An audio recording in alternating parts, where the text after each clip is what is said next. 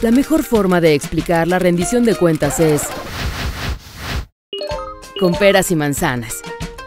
Estos son los ciudadanos, o sea, todas las personas que se reúnen para formar una comunidad y que para dirigirla eligen libremente a una autoridad que se va a encargar del gobierno de sus actividades.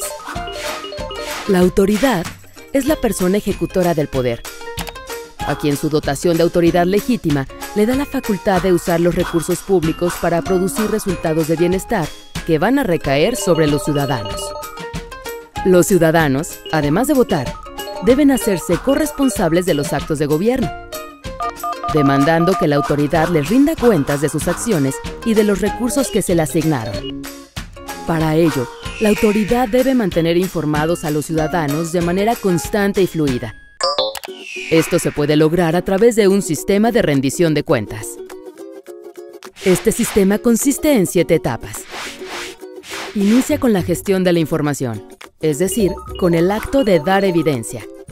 Esta evidencia se plasma en la documentación de lo que se hace y lo que se gasta. Con ella, se van armando archivos que a su vez formen los expedientes que van a ser la historia de los asuntos de gobierno. Los archivos y expedientes no tienen valor por sí solos.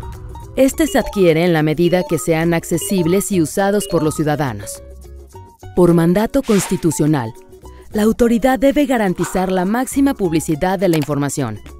A esto se le conoce como transparencia proactiva. Así está legislado porque la ciudadanía tiene el derecho fundamental de saber y por lo tanto el de preguntar. Y la autoridad tiene la obligación de contestar de manera veraz y completa. Para contar la historia, primero es necesario hacer las cuentas. Por eso existe la contabilidad gubernamental. La autoridad debe tener un sistema eficiente y efectivo que revele en qué se gastaron los fondos públicos, cómo se gastaron, con quién, bajo qué criterios y sobre todo cuál fue el beneficio para los ciudadanos. Como la autoridad fue elegida a partir de las promesas que hizo, la corresponsabilidad de la ciudadanía es asegurarse de que las cumpla. Para eso debe mantenerla vigilada, monitoreada y evaluada en todo el proceso de su actuación. Se debe comparar lo prometido con lo realizado y lo realizado con los resultados o beneficios que se deriven de las obras porque lo prometido es deuda. La autoridad es un organismo de gestión. Su función es la adquisición de bienes o servicios y la procuración de obras públicas para cumplir, de manera óptima, con el mandato que se deriva de sus promesas. Para lograrlo debe administrar a proveedores gubernamentales y contratar a proveedores privados. Al hacerlo, establece con ellos una corresponsabilidad por sus productos, servicios y obras públicas. Cualquier colusión entre la autoridad y los proveedores es una forma de corrupción. La calidad de los acuerdos entre la autoridad y los proveedores y la transparencia de estos acuerdos nos permiten determinar si la autoridad sabe gastar.